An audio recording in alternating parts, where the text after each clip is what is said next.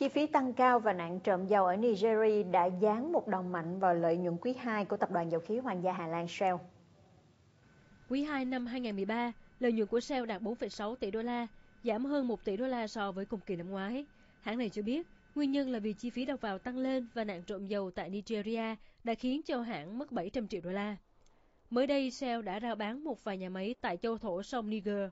Mặt khác, CEO của hãng, ông Peter Vulser cho biết, hãng đăng ký hợp đồng thêm nhiều dự án lớn khác.